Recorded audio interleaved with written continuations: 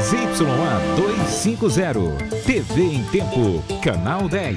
Emissora do Grupo Raman Neves de Comunicação. Detento foge da cela, rouba arma de policial e acaba morto dentro de delegacia na zona centro-oeste de Manaus. Violência. Menina de 9 anos que desapareceu quando estava indo à escola é encontrada morta em ramal de Altazes. Gritaria e acusações durante a escolha dos estados de onde virão os jurados do Festival Folclórico de Parintins. Decisão. Nacional e Princesa disputam título do Campeonato Amazonense de Futebol.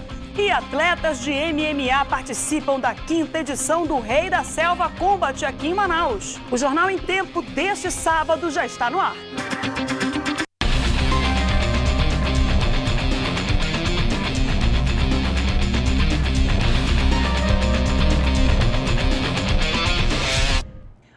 Para você que acompanha o Jornal em Tempo pela internet.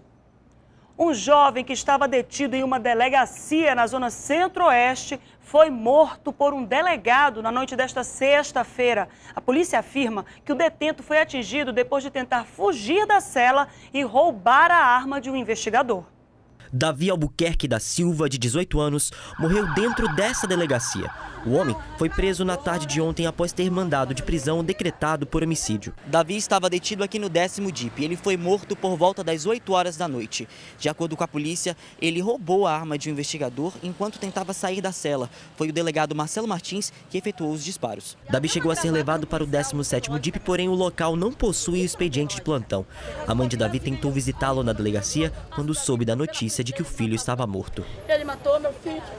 A cunhada de Davi informou que a família não teve permissão de entrar na delegacia. Quando a gente chegamos aqui, ele já estava tudo fechando. Aí quando gente, o, tinha um delegado aí, aí ele começou a empurrar ela, ele empurrou ela e saímos para fora. Disse que ele não estava, ele já estava morto aí dentro, ele já tinha matado. Aí, ele aí dentro. Eles iam fazer uma perícia aí dentro, mas ele já estava era morto aí dentro. Davi também era suspeito de matar um policial militar, o cabo João Paulo, em janeiro deste ano. O corpo do jovem foi encaminhado para o Instituto Médico Legal para a perícia. A delegacia especializada em homicídios e sequestros e a corregedoria da Polícia Civil registraram a ocorrência. Um homem foi atingido por disparos no Parque 10, zona centro-sul de Manaus. A vítima chegou a ser socorrida, mas não resistiu.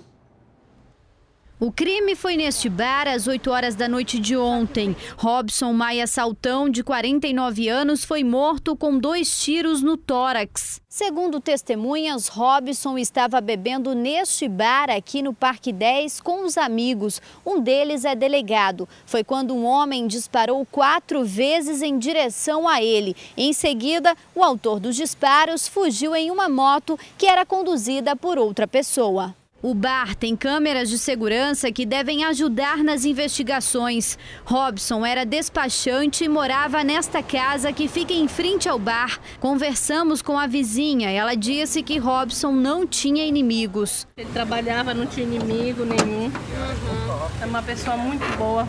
No velório, a família não quis comentar o crime e ainda não há suspeitos. Ele morava só com uma moça de criação, minha, meu tio tinha uma moça de criação que me criava e ficou morando com ele. O corpo foi enterrado no final da tarde. A delegacia especializada em homicídios e sequestros investiga o caso.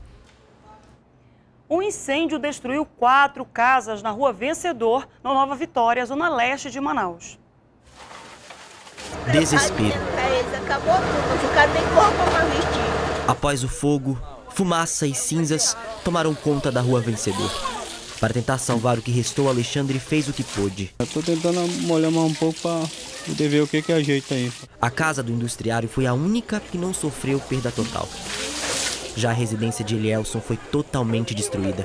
Ele estava no trabalho no momento do incidente. Eu só fui mandar ela também sair de dentro de casa e sair lá da empresa, as carreiras e vir para casa. Quando eu cheguei já estava sobrou nada. Elisete contou que só teve tempo de salvar as crianças. Senti muito medo, eu saí correndo com meus dois filhos, porque meu neném ele é recém-nascido.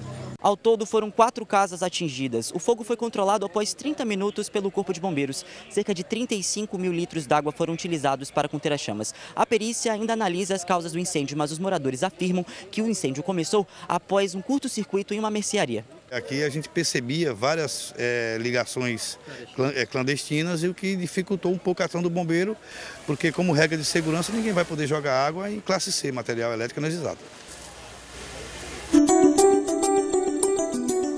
Em Manaus, o domingo vai ser de chuva de curta duração e pode ser acompanhada de trovoadas a qualquer hora do dia, mínima de 29 e máxima de 34 graus. Também há previsão de chuva em Careiro e Manaquiri, com mínima de 28 e máxima de 33 graus.